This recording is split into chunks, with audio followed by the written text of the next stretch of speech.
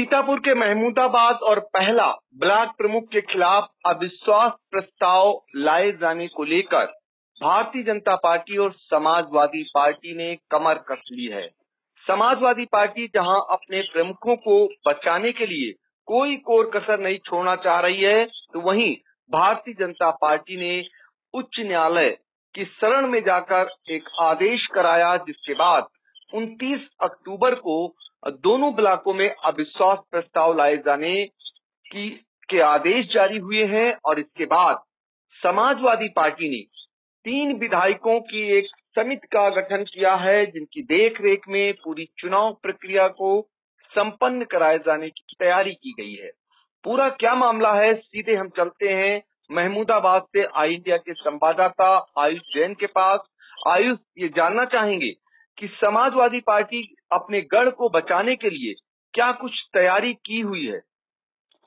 जी पंकज जी, मैं आपको बताऊँ तो महमूदाबाद और पाला में उनतीस अक्टूबर को क्षेत्र पंचायत के जो प्रमुख है, उनके लिए अविश्वास प्रस्ताव आना है। दोनों दलों ने अपनी अपनी तैयारियाँ की है, लेकिन एक बड़ी बात यह है कि समाजवादी पार्टी का जो ये महमूदाबाद और पहला है, ये एक लंबे समय से गढ़ बना हुआ है। और जो सीतापुर में जो ब्लॉक प्रमुखी के चुनाव हुए थे, उसमें जो सीटें थी उसमें केवल महमूदाबाद और पहला ही ऐसी सीट थी जो समाजवादी पार्टी के खाते में गई थी। इसका एक कारण यह भी था क्योंकि उस समय तत्कालीन जो विधायक समाजवादी पार्टी के नरेंद्र सिंह वर्मा थे, उनके लिए भी ये प्रतिष्ठा का प्रश्न था, जिसके देखते हुए महमूदाबाद और पहला ये दोनों सीटें समाजवादी पार्टी जीतने में सफल हो गई थी। लेकिन अब चूँकि सरकार एक बार फिर भारतीय जनता पार्टी की है और यहाँ पर महमूदाबाद में अब भारतीय जनता पार्टी का कमल भी विधानसभा क्षेत्र में खिल चुका है तो भारतीय जनता पार्टी भी अब अपने ब्लॉक प्रमुखों को बिठाने के लिए पूरी रणनीति बना चुकी है, जिसको लेकर के बीते माह जो क्षेत्र पंचायत सदस्य हैं, महमूदाबाद की बात करें तो यहाँ तिरासी क्षेत्र पंचायत सदस्य हैं, जबकि पहला में पंचानबे क्षेत्र पंचायत सदस्य हैं। महमूदाबाद से तिरसठ और पहला से पैंसठ क्षेत्र पंचायत सदस्यों ने विधायक आशा मौर्य और भाजपा जिलाध्यक्ष अचिन मेहरोत्रा की अगुवाई में एक अविश्वास प्रस्ताव के लिए एफिडेविट जो है वो डीएम को सौंपे थे, जिसके बाद जिलाधिकारी के द्वारा एक तारीख निर्धारित की गई थी दोनों ब्लॉकों में अविश्वास प्रस्ताव की बैठक के लिए। किंतु इसी बीच जो परिवर्तन हुआ शासन की तरफ़ से, चार अक्टूबर को जिला पंचायत और क्षेत्र पंचायत अधिनियम में, जिसके बाद डीएम ने जो पूर्व में तारीखें तय की थी, वो निरस्त कर दी थी।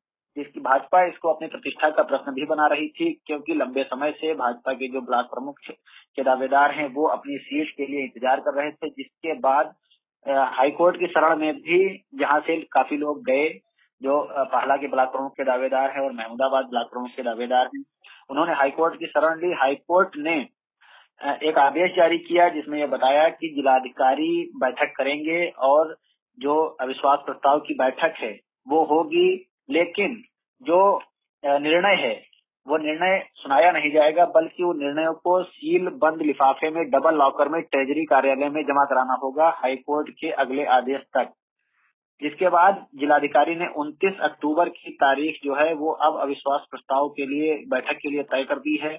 29 अक्टूबर को जो एसडीएम महमूदाबाद है, उनको चुनाव अधिकारी बनाया गया है। उन्हीं की अगुवाई में जो जिला महमूदाबाद और पहला क्षेत्र पंचायत सदस्यों की अविश्वास प्रस्ताव की बैठक है, वो होनी है। भाजपा की तरफ़ से पूरी तैयारी कर ली गई है। इसको देखते हुए, चूँकि समाजवादी पार्टी अब सत्ता में नहीं है और महमूदाबाद विधानसभा क्षेत्र में समाजवादी पार्टी का गढ़ लंबे समय से बना हुआ है तो अपने उसी नाक को बचाने के लिए समाजवादी पार्टी ने भी अपनी तैयारियाँ सुनिश्चित कर ली हैं। जो यहाँ से पूर्व विधायक हैं, नरेंद्र सिंह वर्मा, उन्होंने इस मामले को समाजवादी पार्टी की जो उच्च स्तरीय कमेटी है, जो पार्टी फोरम है, वहाँ भी रखा क्योंकि ये मामला हो सकता है अखिलेश यादव के संज्ञान में भी हो।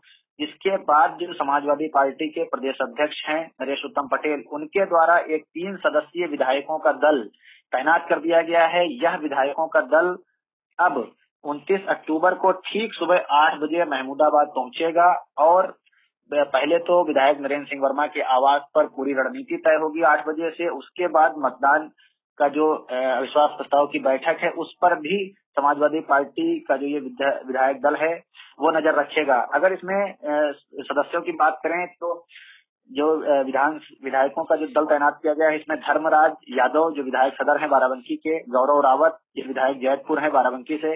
इसके अलावा फरीद महफूज किदवई, ये विधायक रामनगर बाराबंकी। ये तीनों विधायक उनतीस अक्टूबर को सुबह आठ बजे महमूदाबाद पहुँचेंगे और अपने महमूदाबाद और पहला के गढ़ को बचाने के लिए पूरी रणनीति और आगे की कार्रवाई तय करेंगे। बिल्कुल। तो ये है समाजवादी पार्टी की ओर से जो तैयारियाँ की गई हैं, उसकी जानकारी आयुष जैन दे रहे थे। उन्होंने बताया कि समाजवादी पार्टी की ओर से तीन विधायक, जो पड़ोसी जनपद हैं बाराबंकी उनका एक प्रतिनिधि मंडल बनाया गया है, जिसमें धर्मराज सुरेश यादव, जो बाराबंकी सदर से विधायक हैं, और इसके अलावा बाराबंकी के जैतपुर के विधायक गौरव रावत हैं, और रामनगर से महफूज फरीद महफूज किदवई, ये भी विधायक हैं। इन्हीं लोगों का तीन सदस्यीय जो विधायकों का एक जो गठित किए गए हैं, इनका एक जो प्रतिनिधि मंडल है, वो पहुंचेगा। पूर्व मंत्री नरेंद्र सिंह वर्मा के आवास पर वो नज़र रखेगा। और आपको बताना चाहते हैं कि दरअसल सीतापुर में 19 विकास खंड हैं, जिनमें से 16 विकास खंडों पर भारतीय जनता पार्टी काबिज है, एक पर निर्दलीय और दो ही मात्र ऐसे ब्लॉक प्रमुख हैं, एक महमूदाबाद से मुकेश वर्मा और दूसरी अगर बात करें तो पहला में जो समाजवादी पार्टी के हैं, अजय यादव। तो ये दो ऐसे ब्लॉक प्रमुख हैं जो काबिज हैं इनको हटाने के लिए पिछले दिनों जो है भारतीय जनता पार्टी के जिला अध्यक्ष अचिन मल्होत्रा और महमूदाबाद से जो विधायक हैं, आशा मौर्य, वो पहुँची थी 19 सितंबर को, जिन्होंने बीडीसी की परेड करवाई थी जिलाधिकारी अनुज सिंह के सामने और साथ ही हस्ताक्षर युक्त शपथ पत्र भी सौंपे थे, जिसके बाद डेट भी मुकर्र कर दी गई थी। पूर्व में लेकिन इसी बीच योगी सरकार का नया एक कानून आ गया जिसके तहत जिला अधिकारी को इसको खारिज निरस्त करना पड़ा था और फिर एक बार ये सारे लोग हाई कोर्ट चले गए और इसके बाद वहाँ के, वहाँ से जो ऑर्डर हुआ है उसके बाद 19 अक्टूबर को फिर से अविश्वास प्रस्ताव की तिथि मुकर्र की गई है। खास बात ये है कि इस बार जो अविश्वास प्रस्ताव पर मतदान होगा वो मोहरबंद मतपेटिका को ट्रेजरी के डबल लाख में उच्च न्यायालय के अग्रिम आदेशों तक सुरक्षित रखवाने का आदेश भी जारी किया गया है। तो आप अंदाज़ा लगा लीजिए, बहुत ही संवेदनशील मामला है और समाजवादी पार्टी भी पूरी तैयारी भरे हुए है अपनी नाक को बचाने के लिए। ऐसे में दोनों जगहों पर पहला की अगर बात करें तो पहला में वहाँ पर महमूदाबाद के एसडीएम को वहाँ पर अधिकारी बनाया गया है जबकि महमूदाबाद में बिस्वा के जो एसडीएम है उनकी अध्यक्षता में बैठक करने की बात सामने आ रही है। तो इस तरीके से इनकी डिप्यूट कर दिया गया है और देखना होगा कि अब यहाँ पर क्या स्थिति बनती है। अभी भी ये तय नहीं हो पा रहा है कि नए नियम के तहत मतदान होगा या फिर पुराना ही लागू रहेगा। फ़िलहाल ये तो समय बताएगा कि इसमें किसकी हार होती किसकी जीत हो, होती है।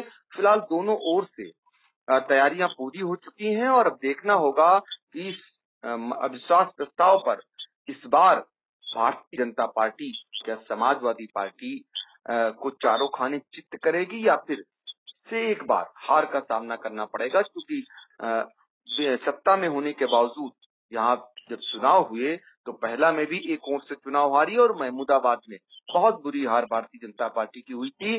फ़िलहाल आयुष आप इस पर नज़र बनाए रखें और जैसे ही इसमें कोई और अपडेट आती है। हम एक बार फिर आपके पास आएँगे। आपका फ़िलहाल बहुत बहुत शुक्रिया।